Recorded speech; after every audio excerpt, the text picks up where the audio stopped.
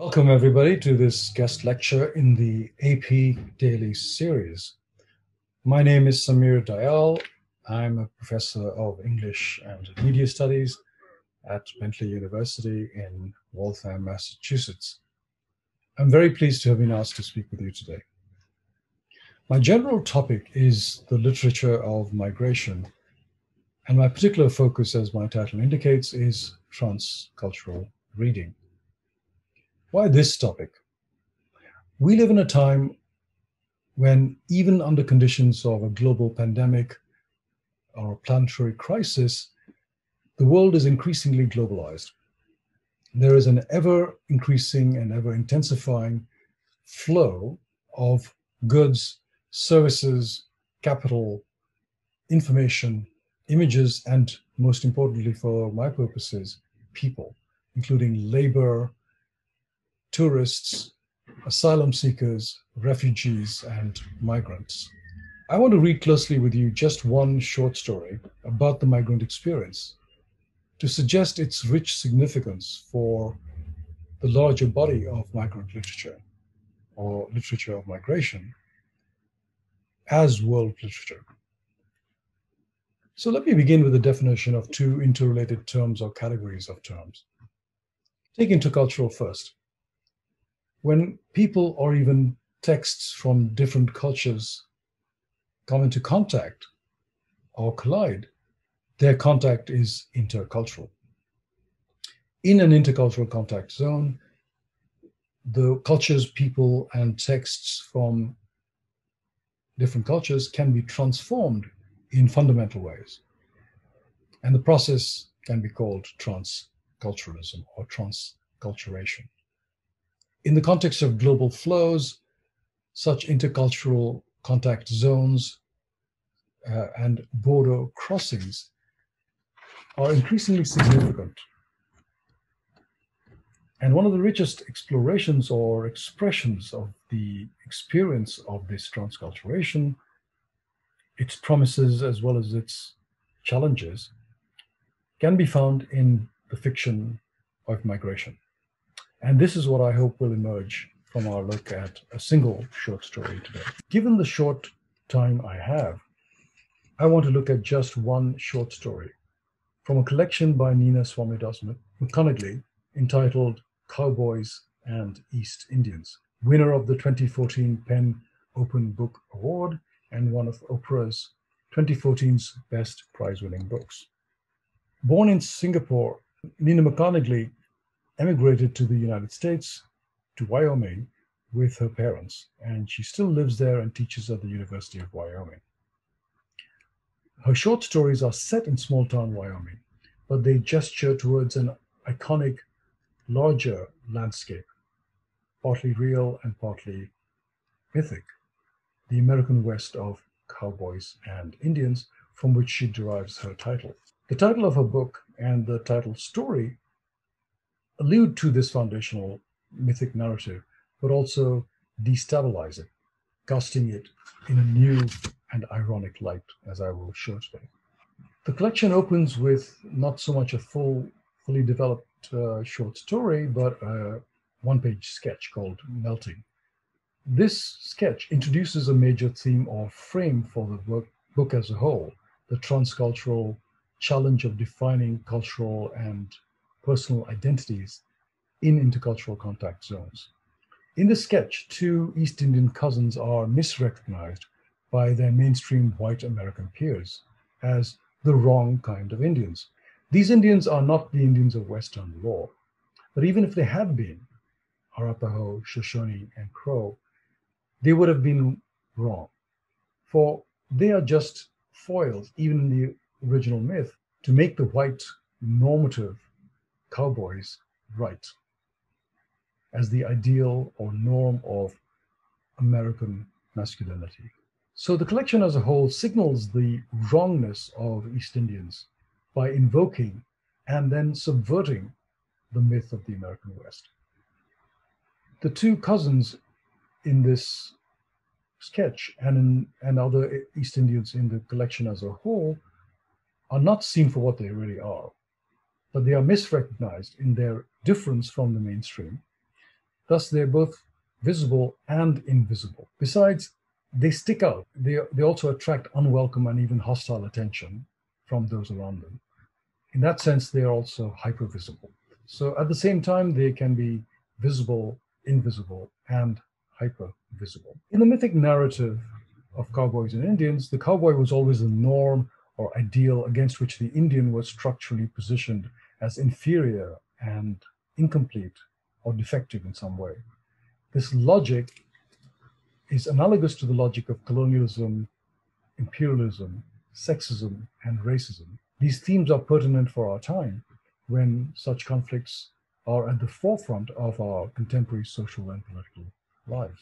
As the title story opens, we see the narrator, who is not yet named, driving along a highway and she sees a group of young women walking on the side of the road. She thinks they are Indian and for that reason pulls over to offer them a ride because she thinks they are Indians. This reason is deeply entangled already with the issue of racialized recognition or misrecognition. How does she know? Is it stereotyping that she's engaging in, or is it identification? That is to say, does she see them as racially marked as different, or does she somehow see them as identical with herself in some way, or the same as herself? So, this question of um, recognition and misrecognition is being highlighted. She pulls over, she offers them a ride. As they get into her minivan, they begin to ask her a similar question. They say, Are you Indian? And the narrator didn't answer the question. The question is repeated Are you Indian? And she just pulls the door open without answering. The girl tries again a third time. From India, she says. I looked into their, their expectant faces and finally, she says yes. The question is, why does she delay? Why does she hesitate? Uh, what is she holding back, if anything? She does give her name to them. She says, My name's Faith. But this doesn't help in a way. The name Faith confuses them, this group of women, who turn out to be, by the way, uh, Indian graduate students. So this space is an in between space, confusing, undecidable, where the drama of recognition and misrecognition will play out. Faith does tell us more about herself, but what she provides is not straightforward autobiography, but rather an account that undercuts itself, calls itself into question, adding more confusion. First, Faith presents what she calls an encyclopedia of facts.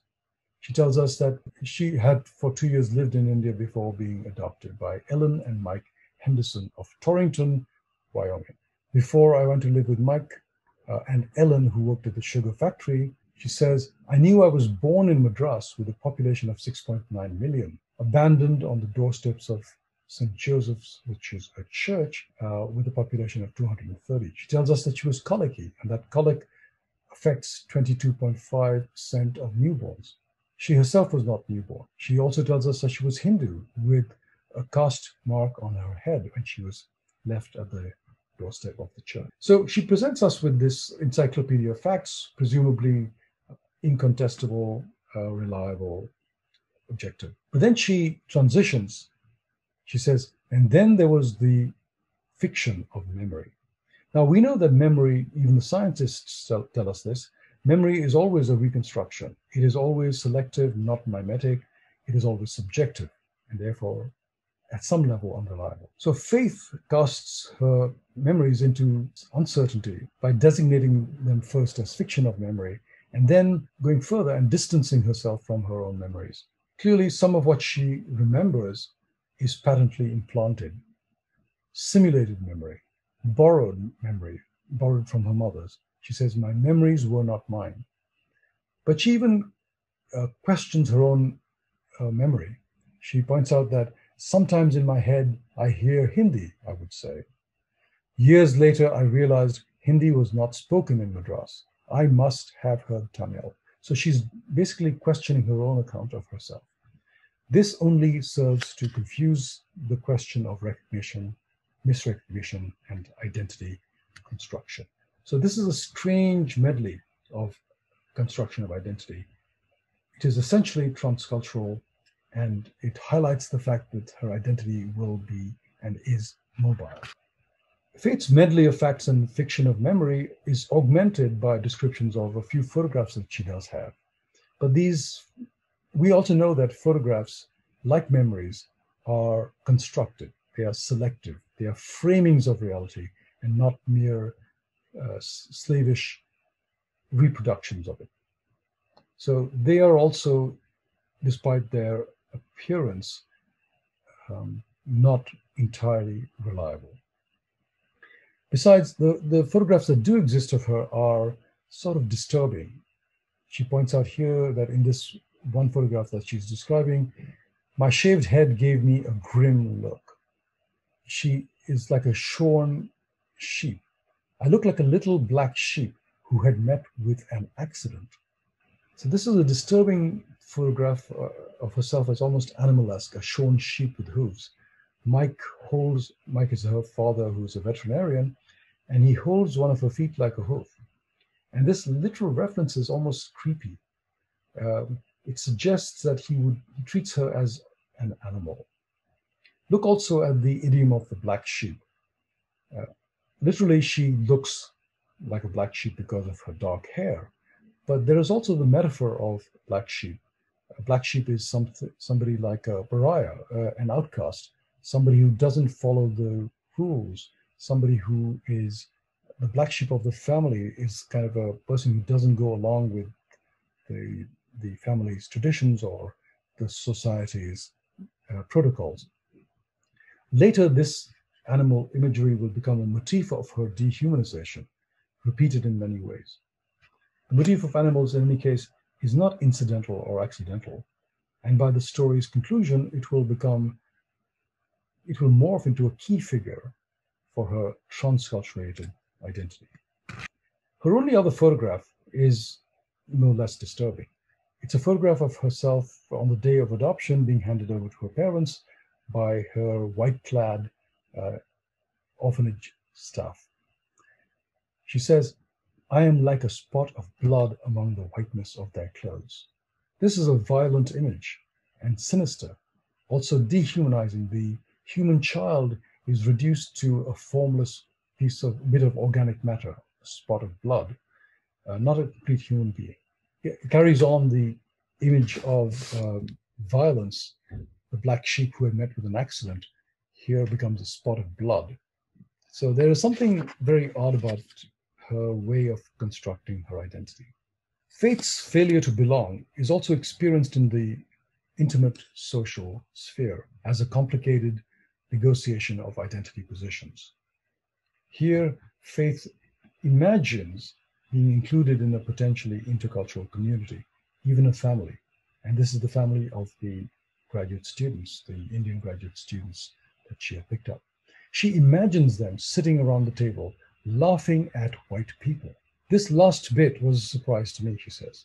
I had pretty much only known white people. But then she says, I felt ready not to be in the minority. And I realized that for the first time in my life, I was not. So she imagines being included in this community of foreign students, family away from family, but Faith's own imagined positioning within this hypothetical intercultural family is a transcultural conundrum. She imagines laughing at white people with the East Indians. Tellingly, this is a surprise to her because, as she says, Formerly, she had pretty much known only white people. Maybe she had even thought of herself as being part of the white world, a world in which her color, her ethnicity, and her race were not marked, were not at the forefront of her, uh, of her consciousness. But now she feels ready not to be in the minority. And she realized that for the first time in my life, I was not. But sadly, this potentially intercultural contact zone this family is a space as a space for faith's reintegration into authentic Indianness is only the fantasy of a rootless immigrant in Wyoming. In another scene, one of the graduate students, Suparna, makes an overture, uh, an intercultural overture to her. She cries on her shoulder, on, on the narrator's shoulder, and says, I miss home. And Faith seems to think of this as a, an opportunity for bonding over the, the figure of the home. So she says, I do too, my eyes filled with tears. But where is home exactly? For Suparna, clearly there is a home waiting for her back in India. It's, it is fixed, it is stable, it is something that she can point to. For Faith, there has never been a stable home. Home for her is always and will remain a moving target, mobile, just as her identity remains mobile. We have seen how faith repeatedly attempts to be reintegrated into, into the fold of authentic Indianness rather than being always the wrong kind of Indian. But she's always thwarted. She wishes to be part of the graduate student family. She says, I knew they were having family meals. Was I not part of the family? I was Indian once. And the reader must ask, was she ever really Indian? Was she ever authentically Indian? This question of authenticity then comes to the fore. Here she's invited to a Hindu festival celebration called Diwali, and she cannot even pronounce the word. She's corrected and laughed at. She tries on Indian clothes at this event, and they don't really fit her, or she cannot carry them off properly. She even tries to cook an Indian dish and take it to the celebrations, a dish of uh, tandoori chicken, but nobody eats it. She has to eat it herself, along with a few other white guests too. So all of these attempts fail. She's marked again as the wrong kind of Indian, even for the Indians themselves. One of the graduate students says to her, It's weird. You don't look Indian to me. And she replies, Yeah, well, I'm from here, as if to excuse her misfit. She's, she recognizes this as a lame reply. So she's saddened that she is excluded from this family that she hoped to belong to.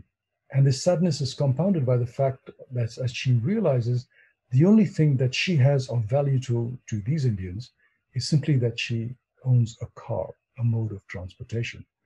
So far, we've seen that intercultural misrecognition comes primarily from other East Indians, other Indians, uh, at least in the story. And now she turns and points out that it also comes from her presumably white boyfriend who, thinking that he's saying something good or nice to her, just says, You know, I don't see you as brown.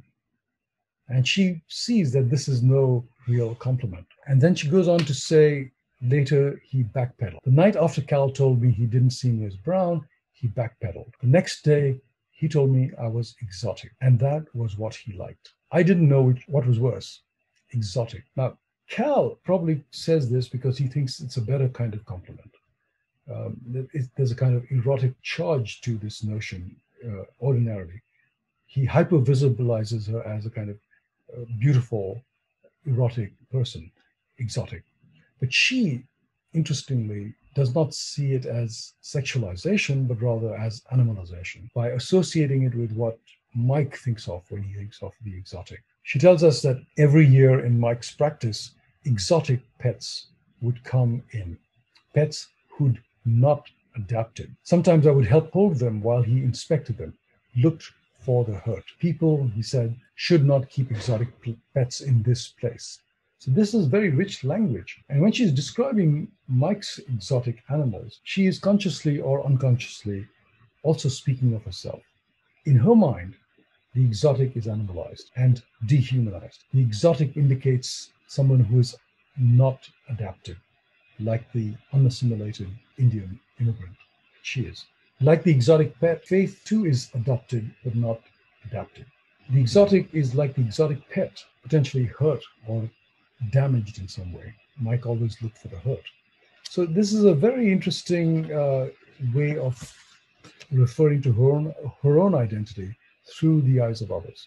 An understated but radical shift in consciousness is introduced at this uh, moment of the of the story. In this passage, she describes being on holiday and she visits a farm where she's watching horses. Her attention, her eye is drawn to this llama in the barn.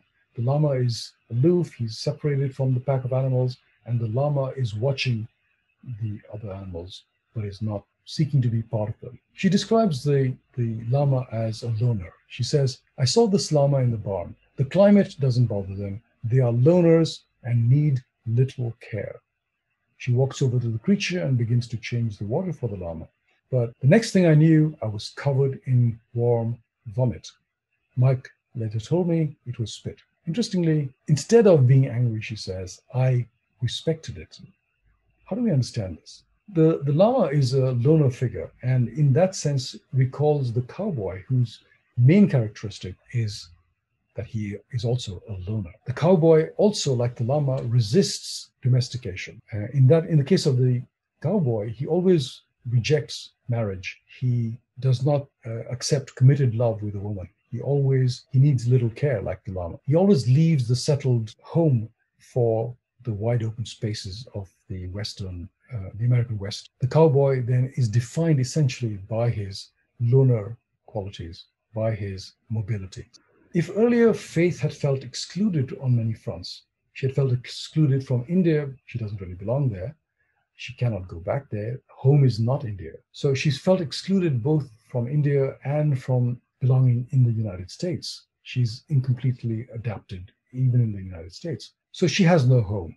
She feels excluded in that sense. She's also felt animalized, as we've seen, including by her own father, the vet who holds her foot like a hoof. She'd felt dehumanized. She didn't have her own kind. She's denied full humanity on many levels. She'd also felt exoticized, even, even by her own boyfriend. All of this produces a certain kind of anxiety about belonging, about identity, a kind of alienation in a bad sense. But the encounter with the llama now will produce something radically transformative, a transculturation. In the last paragraph of the short story, she says, People stick to their own kind. And then she asks the rhetorical question, and when they don't have kind, and she answers it, then they are exotic. I turned around, she says, and walked back toward the community center. The girls would need a ride home. I stopped outside. The light shone out of the windows. I gazed in at them and watched. This is the same language that is used by the llama, watching from a distance, from the outside. This fascinating rhetorical question, and when they don't have kind, reframes the key theme of dehumanization that I've been touching upon. When they don't have kind suggests that they do not belong to any group. They don't have any kind to belong to. So this, this dehumanization is now redefined here uh, as something possibly positive. She says, then they are exotic. So if formerly she had found the term exotic to be not a positive uh, category, now there's something else going on. At the story's final movement, we are told that Faith turned around and walked back toward the community center. I'll say more about the, the term exotic in a second, but just notice the language that carries the passage forward. So she, her turning around is at some level uh, literal, physical. She turns, literally turns and walk back to, walks back towards the community center, towards the girls who are waiting to, who will be wanting a ride home. But figuratively too, she has turned around from obsessive, anxious, self-concern, self-regard a kind of altruism. The girls would need a ride home. So, so now she's thinking about offering the girls a ride home. Formerly, she had felt sad that the only thing that was of value in her was the fact that she had a car. Now she is reconciled to that to that position of being of service to somebody else altruistically. Now she's reconciled to that idea, but also to the fact that even though she does not have a home that she can go back to, really, um, she will be willing to give them a ride home, a home to which she is not welcome. So Faith's earlier isolation, and here I'm turning back to this notion of the exotic for a second. Faith's earlier isolation has become a transvalued alienation, an alienation that is like the llama's aloofness and loner quality, those qualities that make him exotic. He doesn't have other kind, he doesn't seek belonging to them. Even more powerfully than the lunar quality of the cowboy, she's identifying here with the llama's lunar characteristics. The llama is on the outside, gazing in at the other animals. He's seen as being, uh, as, as watching from a distance. And she identifies with this alienation, this outsider quality. Uh, in the passage itself, she says, I gazed in at them and watched. So for her, the exotic too has been transculturated.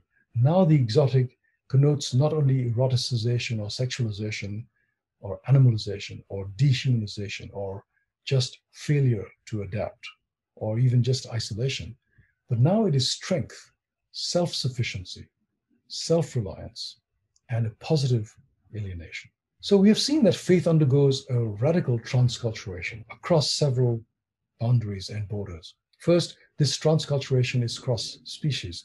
The human being, in this case faith, identifies with an animal, the llama. Through faith's identification with the llama, animality itself has become come to mean something new and positive, not just a demeaning dehumanization. Second, her transculturation is across the racial ethnic border. Now it is the East Indian who redefines the mythology of the cowboys and Indians so that this gives meaning to the title of the short story and the collection.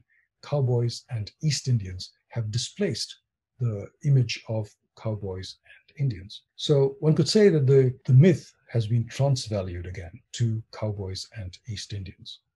Finally, her transculturation also crosses the gender divide, redefining the male myth of the cowboy and Indian male, so that it is not the cowboy who rides off into the sunset on horse into the American West, but the East Indian woman in her minivan. So I hope I've shown that a transcultural reading, a reading attentive to and sensitive to the dynamics of transculturalism, can help us to see transculturation's promise as well as challenge, but also to appreciate how migrant fictions the literature of migration might cast a humanizing and universalizing light on the struggle to find belonging, to define a complicated, possibly unrooted identity in multicultural and globalized contexts. I'm grateful then to have had this opportunity to speak to you today. Thank you for listening. Goodbye.